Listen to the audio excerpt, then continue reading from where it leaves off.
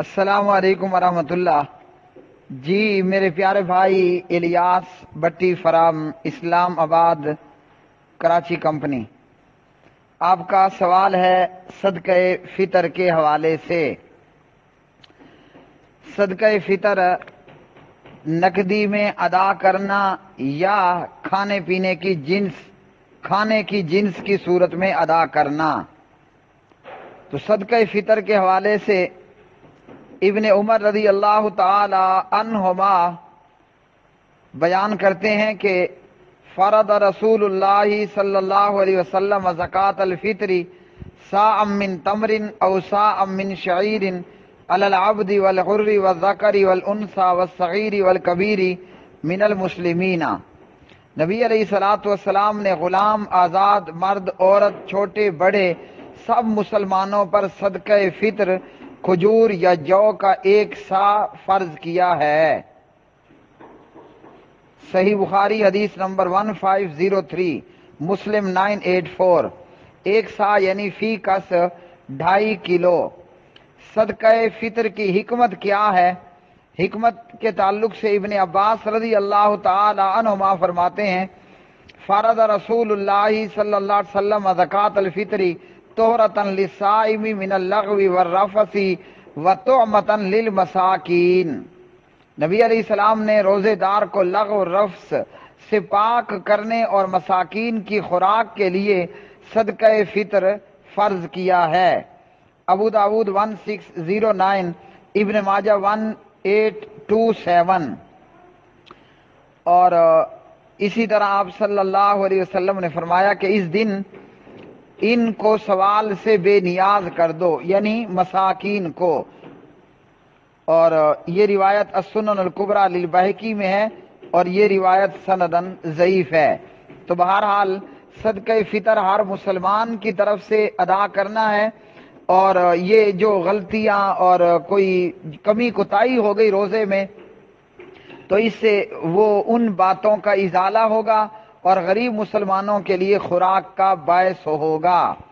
صدقہ فطر کی ادائیگی کے تعلق سے کہ صدقہ فطر جو ہے وہ کن چیزوں میں ادا کیا جائے، تو سنت طریقہ یہی ہے اور یہی بہتر اور درست چیز ہے کہ صدقہ فطر جو ہے وہ گندم، کھجور، جو کشمش، پنیر اور چاول کوئی بھی کھانے کی چیز اس علاقے میں ہے، تو اسی کی صورت میں ادا کرنا درست اور صحیح ہے اور یہی سنت طریقہ ہے۔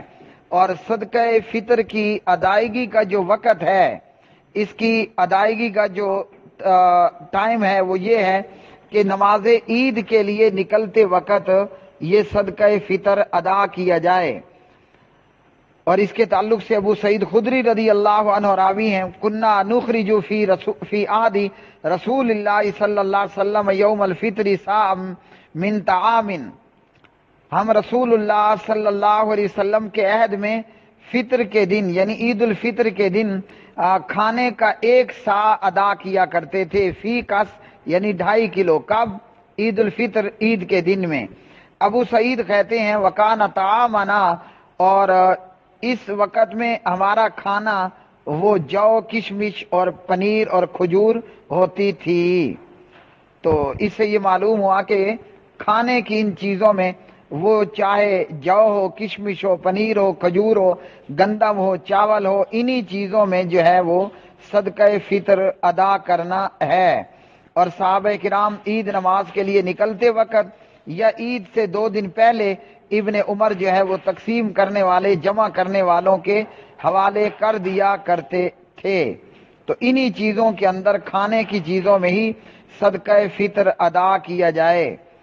اور صدقہ فطر کی، نقدی کی صورت میں ادائیگی کے تعلق سے فضیرت الشیخ ابن باز رحمۃ اللہ علیہ لکھتے ہیں کہ نقدی کی صورت میں صدقہ فطر ادا کرنا یہ جائز نہیں۔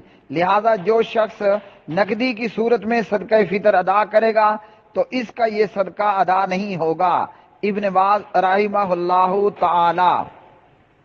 اور اسی طرح اس کے تعلق سے بعض علماء نے یہ لکھا ہے کہ اگر کوئی صدقہ فطر نقدی کی صورت میں ضرورت کے تحت ادا کر دے تو جائز ہوگا۔ نقدی کی صورت میں ادائیگی جو ہے وہ جائز ہے۔ جبکہ صحیح طریقہ یہی ہے کہ ان کھانے کی چیزوں میں ہی جو ہے وہ صدقہ فطر دیا جائے۔ حالانکہ اس وقت میں بھی نقدی موجود ہوتی تھی۔ لیکن نبی علیہ سلاط والسلام سے یا صحابہ سے یہ ثابت نہیں ہے کہیں بھی کہ انہوں نے تعام کے بدلے نقد روپے سے فطر کی، صدقہ فطر کی ادائیگی کی ہو۔